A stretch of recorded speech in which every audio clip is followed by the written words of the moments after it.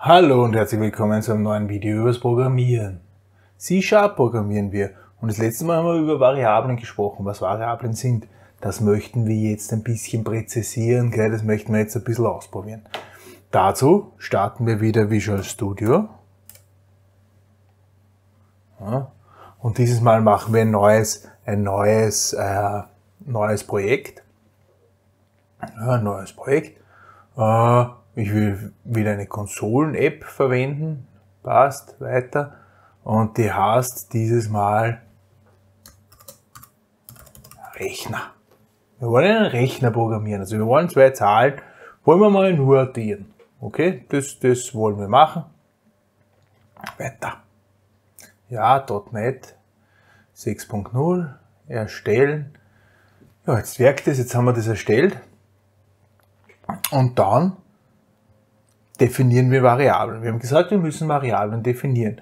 Nun, das letzte Mal habe ich ein paar Ganzzahlenvariablen, ein paar Integer-Variablen verwendet und ja, also werden wir das auch jetzt verwenden. Variablen definiert man ganz oben. Ja, also ich mache da, wir haben zuerst, zuerst wir gesagt, ein Typ. Und unser Typ soll jetzt einmal ein uint sein. Also ein unsigned Integer von 0 bis 2 hoch 32 minus 1 geht, die haben wir gesagt. Uint, und das ist da Zahl 1, Zahl 1, Strichpunkt. Cool, ha? Und jetzt machen wir ein uint. Schau, der macht man schon, der macht man schon äh, zusätzlich Tab zum Akzeptieren. Und das akzeptiere ich durch eine Zahl 2 brauche ich auch. Die zwei Zahlen möchte ich zusammenzählen und dann habe ich noch ein uint, ein Ergebnis.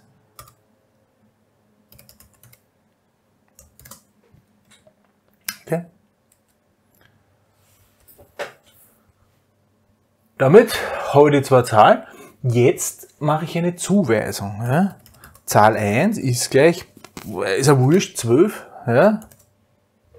Das ist eine Zuweisung.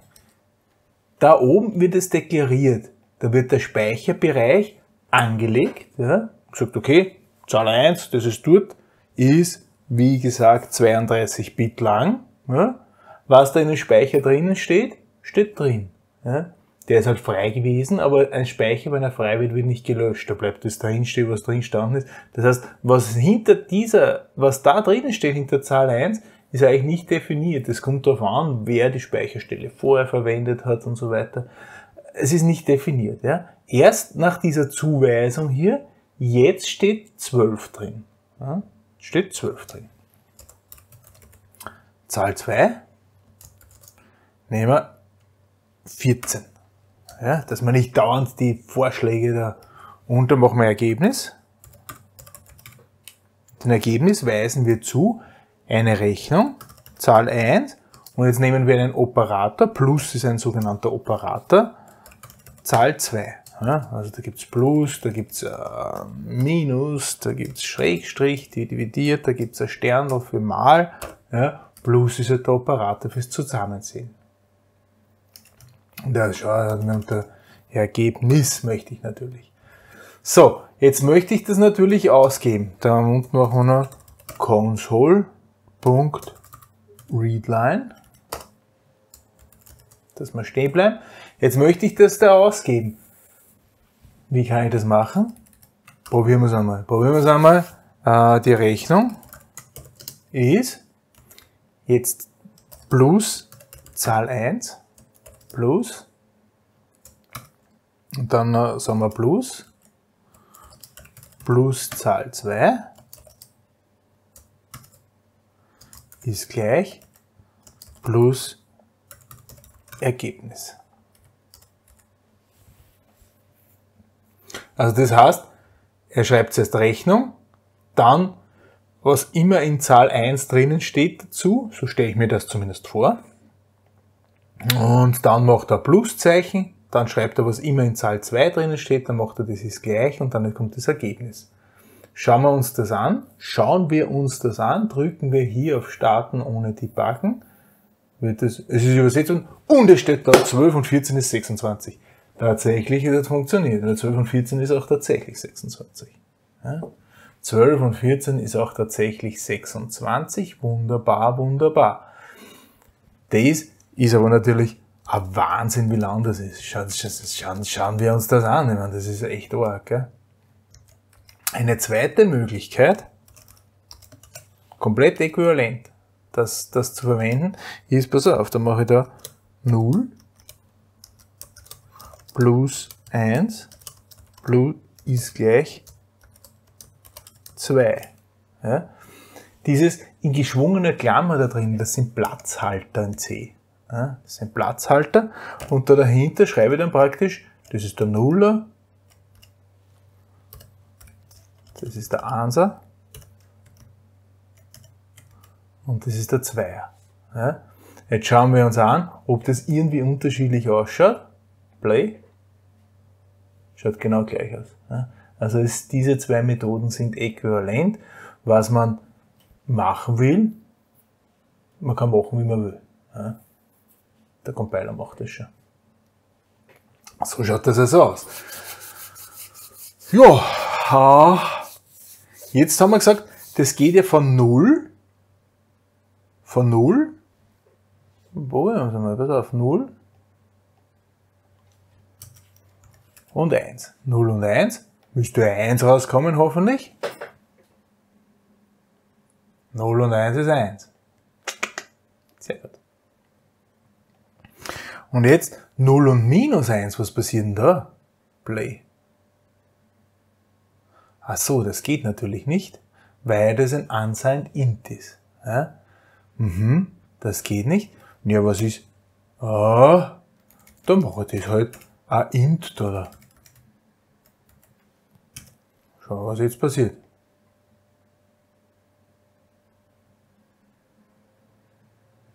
Geht noch immer nicht, weil jetzt habe ich nämlich eine Integer und eine unsigned int und die weise ich einen unsigned int zu. Da sagt er, Herr Alter, das geht nicht.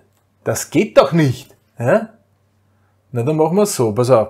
Wenn das nicht negativ sein darf, ja, dann mache ich da wieder ein unsigned int ja, und dann mache ich da einfach ein Minus einer.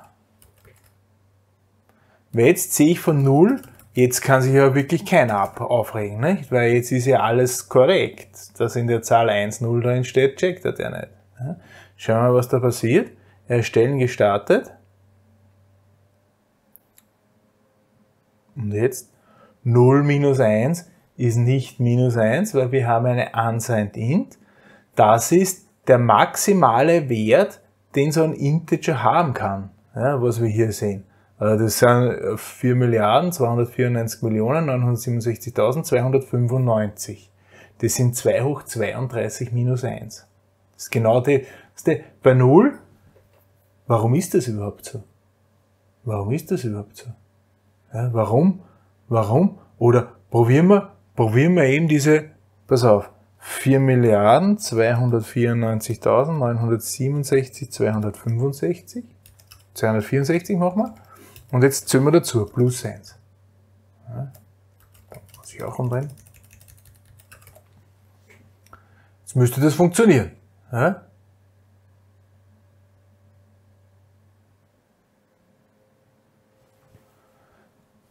Plus 1 ist hinten 95. Ja?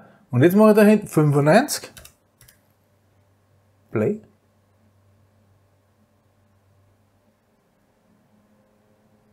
Null. Das ist die Schwierigkeit beim Integer, bei der Integer-Rechnung, dass es einen Überlauf geben kann. Was heißt das jetzt Überlauf? Pass auf, schauen wir sich das an. Schauen wir sich das an. Wir wollen, wir wollen äh, das jetzt so darstellen mit Bits, mit 0 und 1, wie es im Speicher, wie es im Speicher, wie es im Speicher vorkommt. Stellen wir uns vor, das kommt im Speicher vor. Wie, wie drehe ich das jetzt als Binärzahl? Ja? Ich kann machen hier convert Punkt to und die Zahl 2 soll mit Basis 2 dargestellt werden. Okay? Und das gleiche mache ich mit der Zahl 2 Und das gleiche machen wir im Ergebnis. Und jetzt habe ich da schon Schau das an, erst.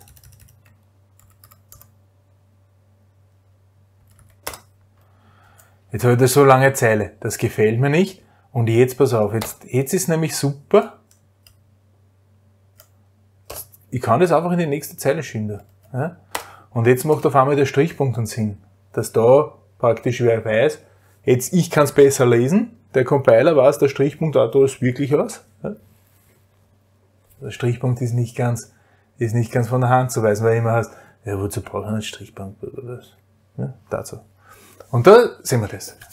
Schauen wir uns das an. Ja? Also wir haben da 1, 1, 1, 1, 1, 1, 1, 1, 1, 0 plus 1 und dann kommt da hinten der Ansatz dazu. Ja? Vielleicht sollte ich woanders anfangen. Ich nehme mal 0 plus 1. Ja? 0 plus 1. 0 plus 1 ist 1. Das schaut binär und dezimal gleich aus. Ja? Schaut binär und dezimal gleich aus. Und dann nehmen wir 1 und 1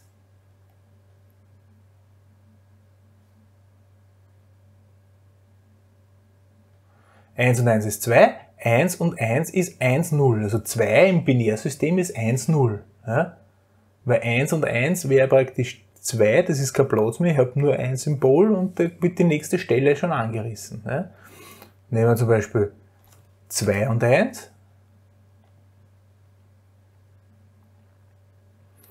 Wir sehen, es wird einfach immer um eine Stelle weiter.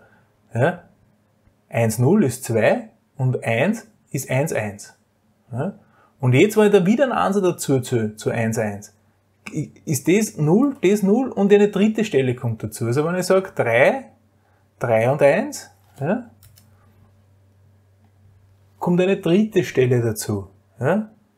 1, 1 und 1 ist 0, 0, 1. Ja? Das ist genauso, wie wenn man praktisch beim dezimalen System 9 und 1 rechnet, kommt auch ein Nuller hin ja, und der Einser wandert in die nächste Stelle. Genau so beim Zusammenzählen äh, funktioniert das beim Binärsystem.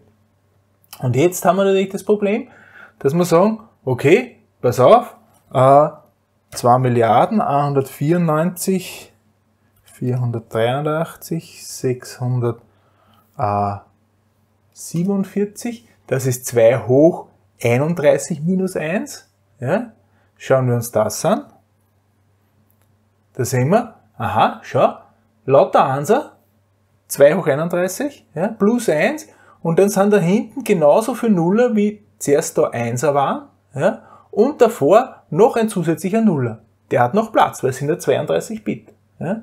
Aber wenn ich das Ganze jetzt bei 32, also das sind 31 Ganser da, ja, und da sind es A1er und 31 Nuller.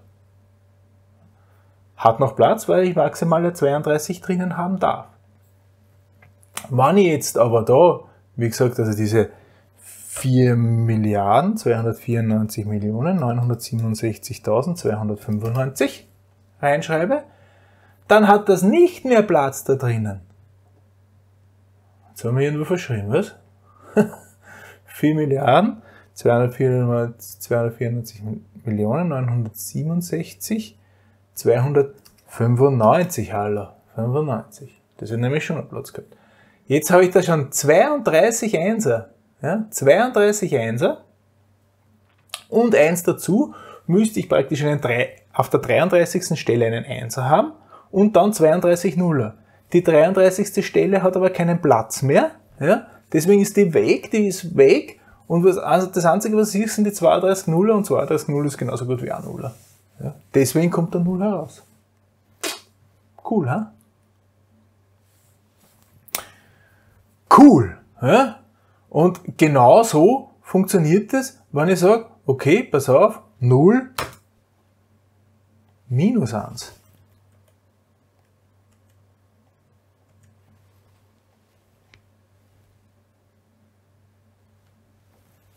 genau das gleiche funktioniert. 0 minus 1 1, 1, 1, 1, 1, 1, 1. Ja? Weil ist genau das gleiche, nur in die Gegenrichtung. Ja? Aber weil eigentlich eigentlich müsste ja davor praktisch ein Nuller sein. Ja? Und so schaut's aus. und auf einmal springen wir zum maximalen Wert. Das ist also bei Unsigned Operations. Was passiert eigentlich? Was passiert eigentlich, wenn ich das nicht ein uint mache, sondern ein int? Schaut es dann aus.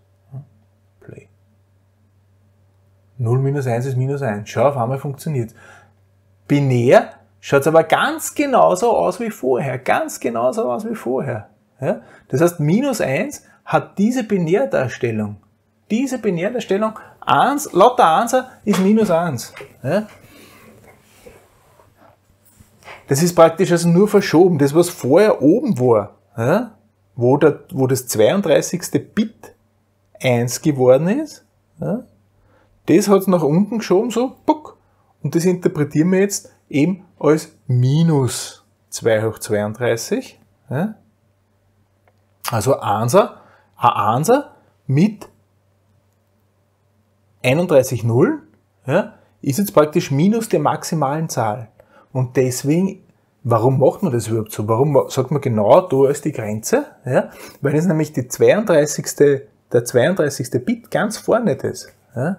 Kann man als Vorzeichen Bit interpretieren und sagen, wenn das ein 1 ist, ist es eine negative Zahl. Ja? Und dann ergibt sich das halt genau so, dass es um eine negative Zahl mehr gibt, weil der Null, Nuller praktisch schon zu den positiven Zahlen zählt, weil beim Null ist ja der 32. Bit ebenfalls Null. Klingt jetzt schon ziemlich kompliziert, gell? Auf alle Fälle können wir uns das, das ansehen. Was, was man sich wirklich merken soll, also jetzt schaue ich zum Beispiel, äh, 2, Millionen, 2 Milliarden 147 Millionen 483.646 plus 1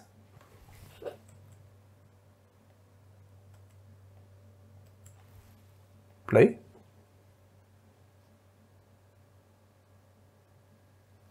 Geht sie aus. Gell? 247. Und da sehen wir, aha, das sind jetzt genau 31 Einser. Man kann es zählen, aber es sind 31 Einser. Ja, also da waren es da waren's 30 Einser und hinten noch ein Nuller und jetzt sind es auf einmal 31 Einser, weil der Einser da den Nuller da hinten aufgefüllt hat praktisch. Und wenn ich jetzt nur eins dazu zähle, würde ja 1, 0, 0, 0, 0, 0 rauskommen, also alles der Null und da vorne, das schauen wir uns an. Ja. 47, 1 mehr,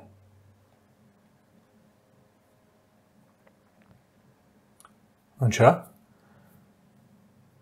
Binär schaut komplett logisch aus. Ja? Binär schaut komplett logisch aus. Es schaut genauso aus wie zuerst. Das habe ich auch zuerst hergezeigt, gell, dass eben 31 Einser und 1 sind 31 Nuller und ein 32. Einser.